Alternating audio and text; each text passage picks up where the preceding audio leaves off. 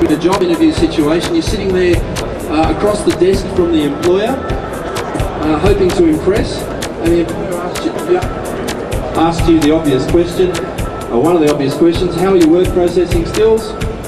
How are your computer skills? Or depending on the job, how are your spreadsheet skills, whatever?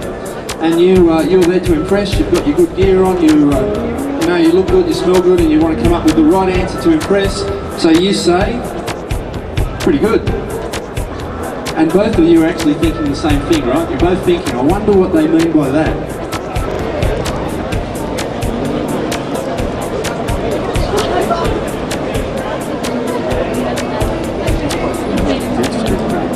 Um, the program's very good and be very good to put into some of our schools.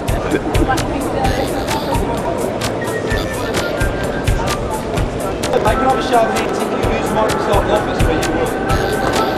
Can I have a show of hands if you use something else? That's about the average response for a room of this size.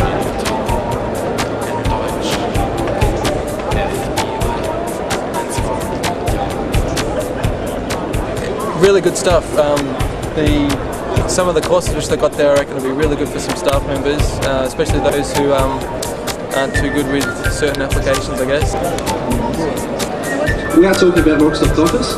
It, the good thing about it, it is targeted specifically at the Office applications, which as you all just said, they're the ones you use. It's developed, endorsed and supported directly by Microsoft. And that makes a lot of sense. If they write the software, it makes sense that they create the certification to go with it. Yeah, I found the test to be really interesting. I actually thought I knew everything about Microsoft Word, but doing the test, I actually realised that I do need to learn a few more skills. There's um, an assessment tool which will actually allow you to choose whatever application you like and step through it and find out specifically how your current skill set is compared to this competency benchmark. It's really excellent. Uh, I took the Excel uh, test and I never knew that there were so many different tools that you can use in Excel. A lot of the questions I didn't even answer because I just didn't know that the tools were available for you in Excel. It was just very powerful.